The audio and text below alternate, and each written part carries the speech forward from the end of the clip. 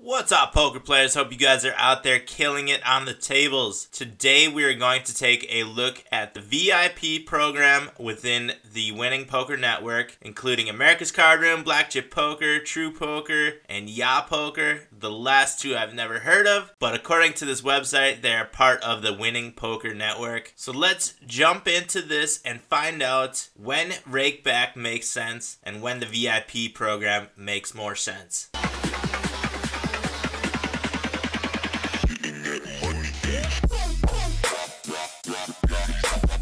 As you guys probably already know, I am not part of the Rakeback program. I do the VIP program because I'm putting in a ton of volume and I didn't really do the math. I didn't really do the studying on it. I just figured with the amount of volume, the VIP program made more sense since you are only receiving 27% rakeback. So what we're looking at right now is a study done by professionalrakeback.com where they went through and analyzed the VIP program versus rakeback and where it makes sense and how much you are actually getting in rakeback if you do the VIP program. They created this nice little chart here which shows all the bonuses, all the rake that you would contribute, the rank points, the CP points, the store bonuses versus the tourney bucks converted, which is what I have really started to use is the tourney bucks. I see that you get a lot more value. I think it's around 30% more value when you use tourney bucks instead of cashing in within the store with your CP points. So I've been playing a lot of satellite tourneys on Sunday mornings trying to get into the big Sunday tournaments with the tournament bucks, which means I'm pretty much registering for these satellite tourneys with my CP points, and it's really been paying off. These satellite tourneys are pretty weak. I've been getting into the big tourneys, haven't got a deep run yet, but hopefully soon that would help out a ton for the bankroll challenge. But from what we can see on this chart, you see that the flat rake back is the same throughout. If you were to accumulate 2.75 million rake back points, rank points rather, you would receive 131,000 in rake back. Those are big numbers, but if you are part of the VIP program, you would receive almost three times that in tournament bucks, or slightly less if you cashed it in within the store. For myself, I'm probably going to be around the 100,000 rank points throughout this year, even though I just started in May, which qualifies me for the 3.5 multiplier. And once you hit that 3.5 multiplier, it really starts to add up. You can see that the rakeback percentages quickly jump from around 30% to over 40%. A lot of that has to do with hitting the bonus at 200,000 as well, which is $2600. I'm probably not going to be getting there, maybe next year, but that's a nice little bonus on your annual income for poker. So if you are using the VIP program or you decide to use the VIP program versus Rakeback, where does it make sense? How much volume do you have to put in